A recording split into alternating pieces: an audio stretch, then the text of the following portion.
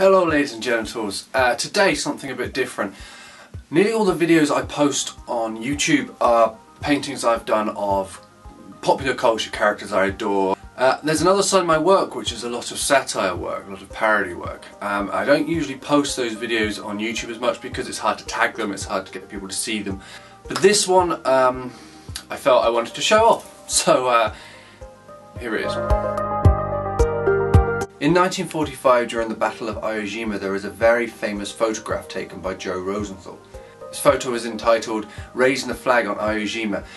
It depicts six American soldiers raising the flag amongst the rubble and debris of the battle on Mount Suibishi. Not sure that's pronounced. Um, you don't, I don't, you don't need me to tell you the power of this photograph and what it means and what it stands for, the pride, the, the will never give up attitude. And that's why this photograph has become so famous because of how much it means and it sums up the spirit of the time.